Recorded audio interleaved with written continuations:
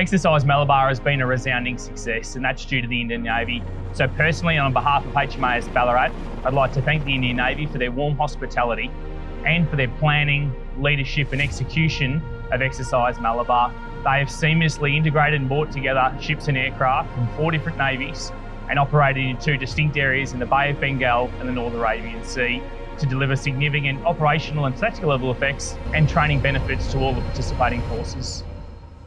The highlight of Exercise Malabar for me is the opportunity to exercise with two carrier strike groups, which is a training opportunity that's unheard of. My main highlights during Exercise Malabar on board HMAS Ballarat is being able to conduct various exercises and formations with different ships from around the world, especially during refueling at sea with different Indian and US warships. During Exercise Malabar, some of my highlights have been seeing the uh, aircraft carriers as well as the other destroyers and submarines from the other navies come together and train as one whole unit the ability to be out here working with so many different nations, uh, building that interoperability between uh, Australia, and India and the US.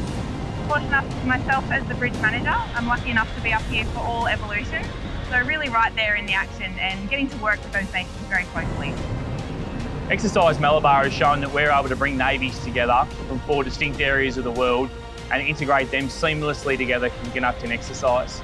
And those principles of bringing like-minded nations together to operate together for a common cause that enables us to promote a secure and prosperous Indo-Pacific.